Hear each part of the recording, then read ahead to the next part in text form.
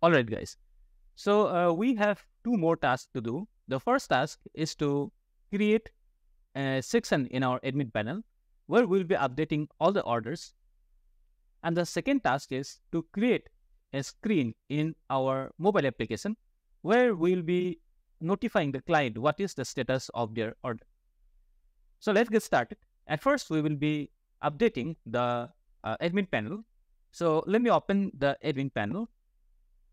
And as we have already created one page called My Orders, so here we'll be uh, giving two options. The first is to modify the page or to edit the status of the order. And the second one is to update, uh, sorry, and the second one is to uh, delete the order.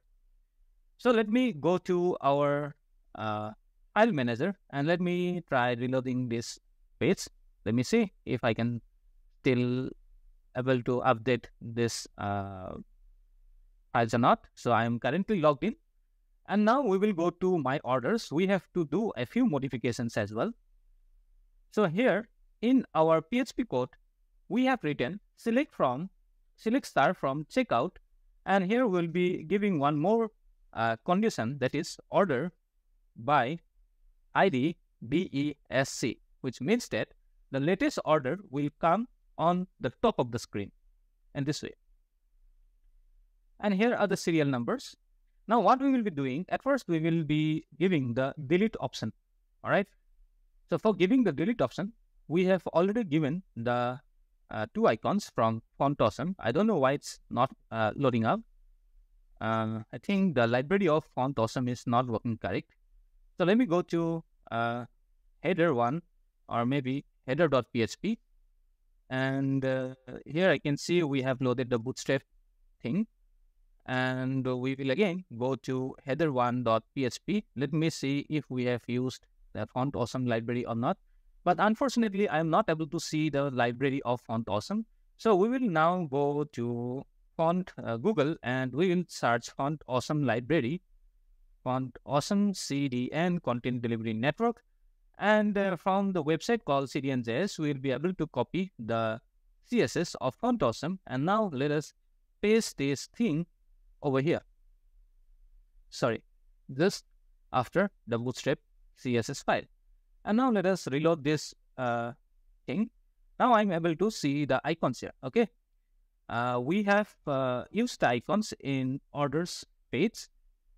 We have already used the icons uh, in the orders page, here are, are, the icon names. And if you're not sure or if you have forgotten from where we can find the icons, then you can simply go to the website called Font Awesome.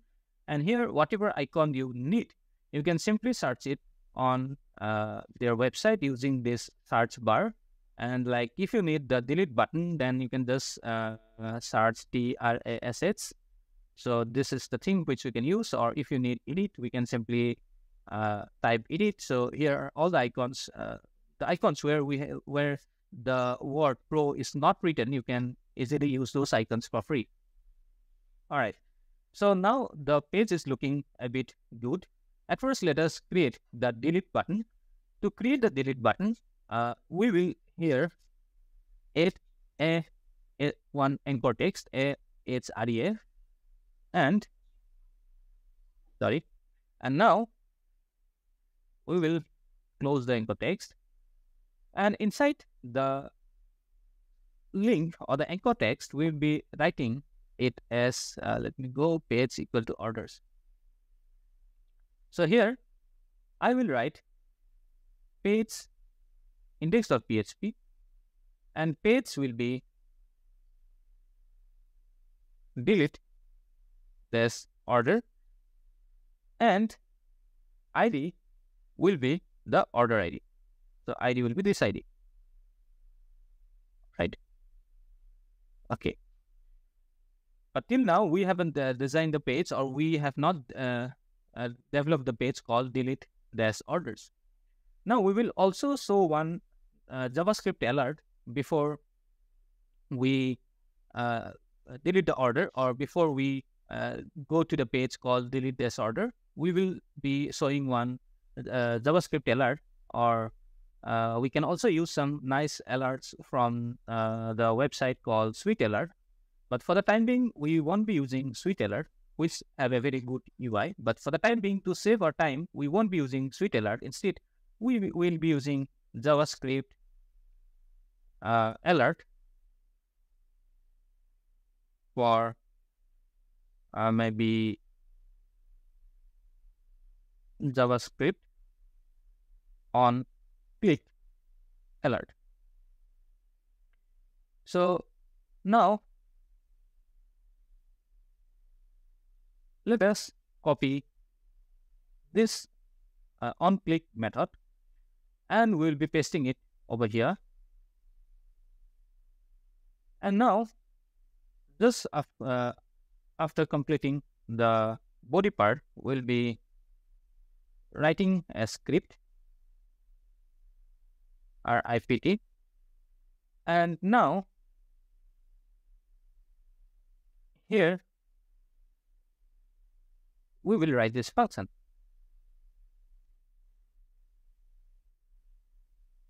You hit. We will go to this section and let us paste this function. And we will go to the orders page and then let us click on it. I can see I am an alert box here. So the last thing which we have to do now, okay, one, two, three. We will have to go to alert. The last thing which we will have to do here is to change the alert message. Instead of I am an alert box, we will write uh, like R you sure you want to delete this order. If someone clicks on yes, then he will be redirected to that page. Now we will go to index.php page. And then here we will copy the else if method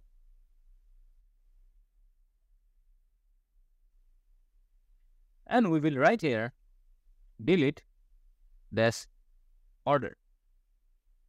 And the name of the page will be delete this order dot php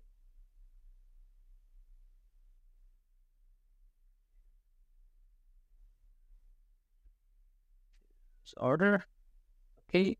And now we will go to this page. We will reload the page once again. And let me mouse over on it, delete this order. And now we will have to go to the file manager. Inside INC, we will have to create a new file called delete this order.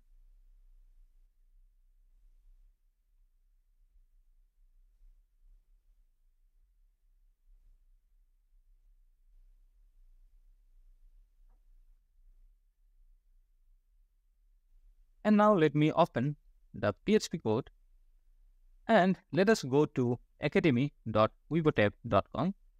And in our block, let us go to the CRUD function. And from here, let me copy the delete function and paste it over here. So here we have to write delete from your table. Instead of your table, we have to write delete from checkout where ID will be ID. And instead of this ID, let us write dollar underscore get or request ID. And then if the orders get successfully deleted, we will be redirecting the user to again to this page. Index.php page will be orders.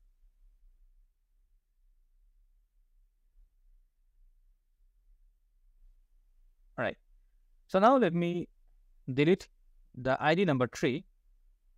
Are you sure you want to delete this order? And if I just click on it, I can see I am on the page called delete this order and ID is 3. And if I just click over here on orders again, oh, this ID has not been deleted.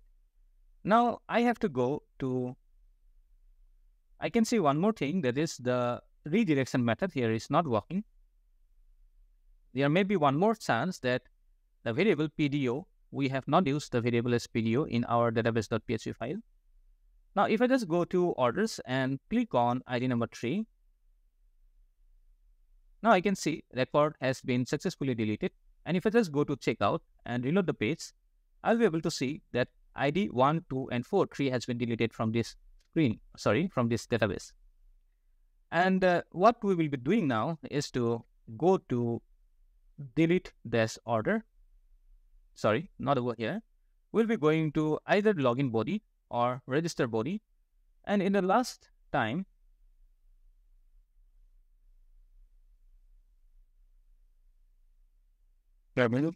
just a moment. And uh, header we will be going to register this body. Okay. So let us copy this line and paste it in order delete order so uh, we have written this method not in the correct way and let us try now we'll go to orders page once again and let me delete the order number 4. If I click on OK, now I can see the user is again redirected to uh, the orders page. Now, if I just uh, delete order number 2 as well and order number 1 as well, all the orders have now been deleted from 1 to 4. Now, let me go to our IDE and if I just go to the home screen, and if I just add the product to our card, and if I just go to checkout, let me write the name as Sima, and the mobile number is 1, 2, 3, 4, 5, 6, 7, 8, 9, 10, I think 11. We can select any state here and the complete address here. And if I just click on submit, I can see who your order has now been successfully completed. And now if I just reload the order page, I can see this order has now been uh, uh, showing in the orders uh, screen of our admin panel. The last thing which we have to do is to create the edit function or to uh, give the function of updating this order. For that, I will create one new page, just like the orders page delete order page. Let me create one new page here. And the name of the page will be update order or edit order. Let us write update this order dot php. And then we will go to index page. And just like we have updated the delete order thing. In the same way, we will write update order over here and update this order will be our new page.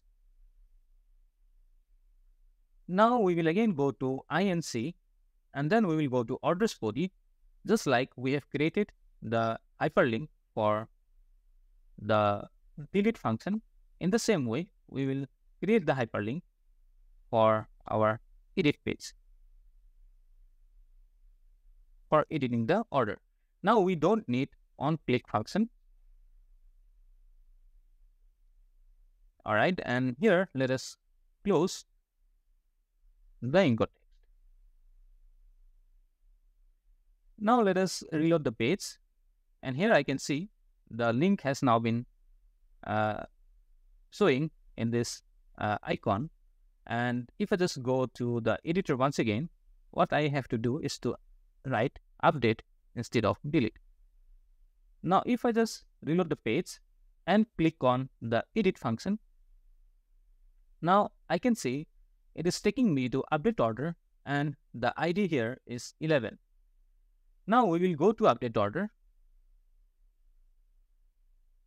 Or before going to the update order, what we can do, I think uh, for that, uh, we will be going to products. All right. So let us go to the page called products body. And we will copy all the codes. And now we will go to update order. And we will be pasting all the codes over here. Now, if any user goes to orders and click on edit button, here we will be modifying the status of the order. All right. So we will be simply showing one field and the name of the field will be called uh, update status.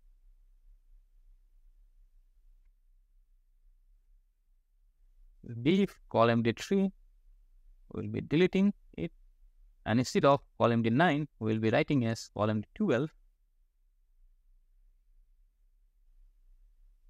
and here let us update it as orders so that after the form gets submitted the user gets redirected to the orders page and we have one field over here.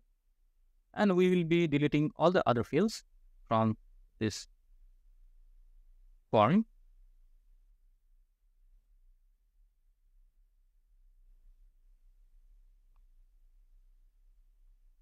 We can even show all the details of the client in this order, but we won't be showing as of now.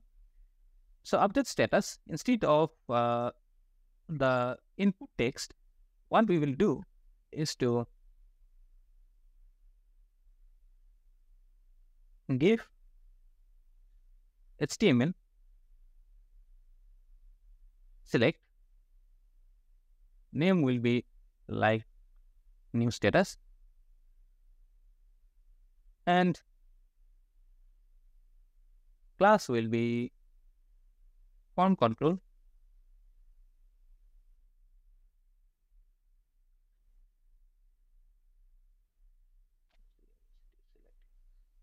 And here we will be writing the option values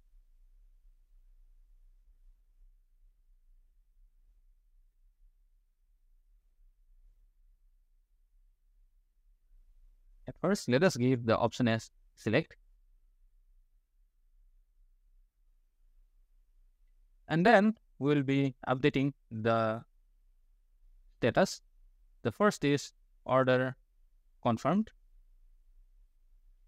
Then order shipped.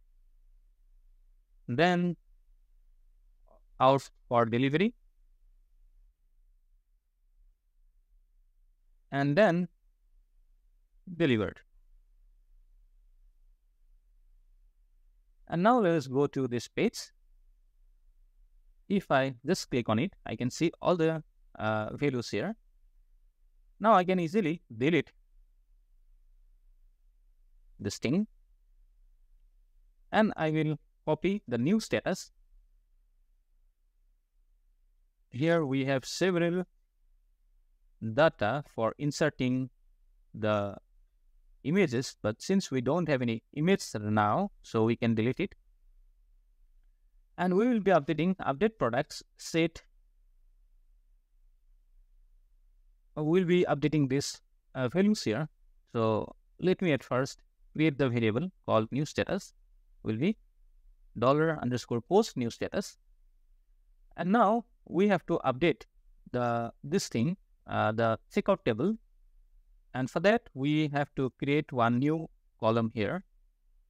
And it will be called as status. Default value will be null. And we will click on save button. So we can see the status for all the orders as null. We will only be updating the status. Update, checkout, set status and status will be new status. Here we'll be writing where ID is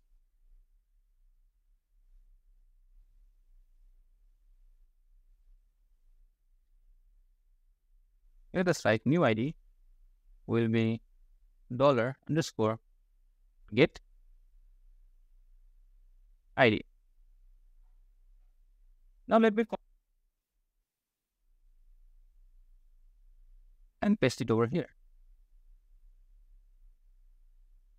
Save.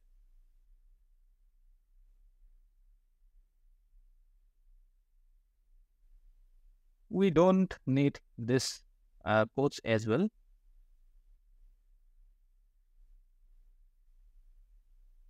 And let me click on Save button. Order confirm, update. And let me go to this page. I can see the order confirm has been shown here. So once the user clicks on the submit button, he should be redirected to the orders page once again. Index.php question page will be orders. And let us click on save file. Now we will go to orders and then we will go to the sixth order. Okay. We'll reload the page once again. And now let us update the order. And if I just click on browse, I can see that this the status of this order has been shown as shipped. The last thing which we have to do is to go to orders page once again uh, in the code editor. And here I will give a new status, new column called status. Even here as status.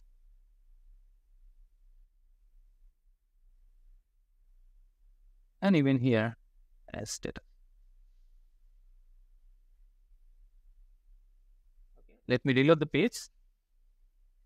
I can see the status of all the orders here. So this is all about updating the orders page. In the next video, we'll be creating a new screen in our Flutter application called My Orders, and we will be showing the status of the orders uh, of the user in the screen. Thank you for watching this video. Subscribe this channel for further updates.